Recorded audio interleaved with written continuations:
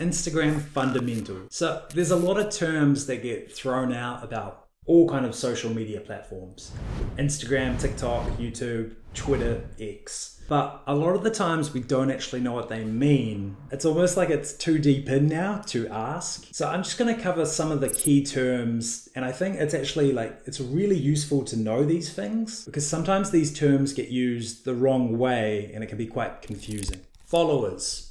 So we all know what followers are, subscribers on YouTube. Most people and brands are chasing follower count. Followers are essentially people who have chosen to see your content on their feed. Now, a few years ago, it used to be that if somebody followed you, they would likely see about 70 to 80% of what you posted. So if you posted a photo, they'd probably see it. But in a post 2020 world, Algorithms changed, and that isn't the case anymore. Now, if someone follows you, unless they engage with your content, they're likely to only see about 10 to 20% of anything you post. If they do engage with most of the content of yours that they do see, then that number increases and they start to see more and more. But if they're not engaging, that number will get smaller and smaller to the point where someone follows you, but they might not see anything you post, or they might see just one thing. That means that the, the meaning, the definition of followers and the value they bring has changed quite drastically. And so brands and companies aren't necessarily interested in your following. It's a metric, but now a far more important metric compared to followers is your engagement and your reach. And I mean, we know this, right? You've seen someone that has 100,000 followers on Instagram, but then they post a reel and it gets like 2,000 views or they post a photo and it gets like 20 likes and you're thinking what? How is this possible? But it's for that very reason that their followers aren't engaging with what they post and so they get shown to less and less. The good news is that reach and engagement are open to just about everybody. The barrier to entry to grow isn't that steep. And if you apply the right strategy you can do it and grow very rapidly without too much work. Which brings me on to the next point, which is reach. So, reach is the total number of users that view your content regardless of if they follow you or if they don't. Impressions and reach are not the same thing, but a lot of people kind of interchange the two of them, but that's not the case. Reach essentially measures the spread of your content across the platform. So on Instagram, reach is measuring how far your content can go and how many people are actually engaging with it. And Instagram will cap your reach based on the performance of each individual piece of content. Reach is essentially a signal that you make good content that engages a wide audience. Now, sometimes your content might be quite niched down, and so you might think, uh, maybe my reach should be small because I have a very specific niche. But you also have to remember that there are billions of users on social media and you can reach a lot of them. So don't limit yourself into thinking that. You can have numbers of 5, 10 million reached. I've done it before, it goes up and down.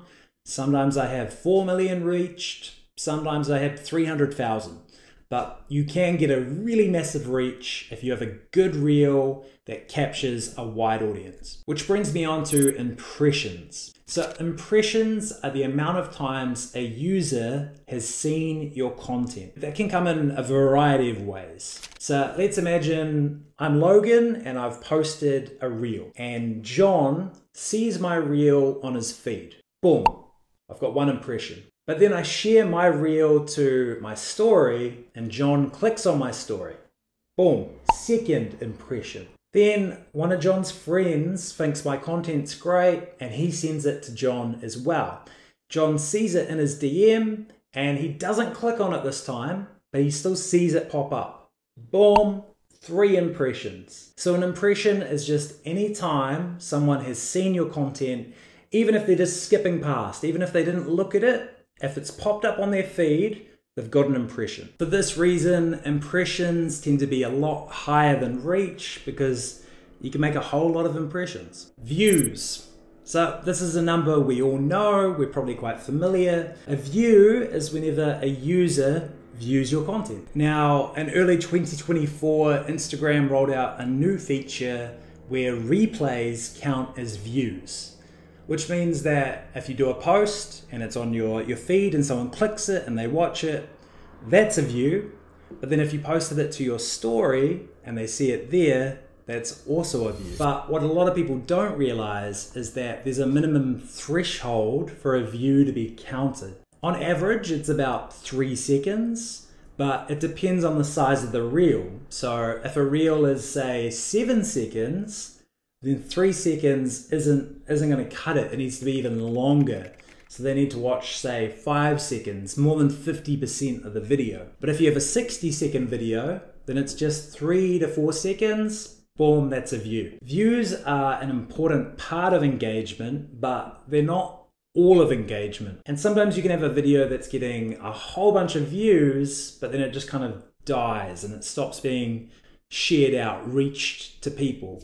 And that's because it's missing some other parts, which we're about to get into. Target audience. This essentially means the type of users that you're trying to attract as you're following. A lot of people just skip the target audience step. They just start making content and hope they gain followers. But if you don't know who your target audience is, it's really hard to reach them and connect with them because you're just trying to reach everybody. And that's just not the way Instagram followers work. You have to know who your audience is and then make content that makes them want to follow you, want to keep engaging with what you post. And the only way to do this is to know who your target audience is and what their pain points are. Now, the marketers in the world know all about this. They know about age, location, demographics, spending power, habits, patterns, everything. What I've done is consolidate all of that into a little sort of diagnoser that uses AI to work it out. And we're going to get into that in the next module. All you have to do is answer a few questions and it'll work out your target audience for you. So don't stress about this too much, but do keep in mind that knowing your target audience is a key element to growing. Just for our stats, I started 2023 with 1,100 Instagram followers, and about 100 TikTok followers. And I ended the year with 75,000 Instagram followers and 25,000 TikTok followers for a combined following of 100,000.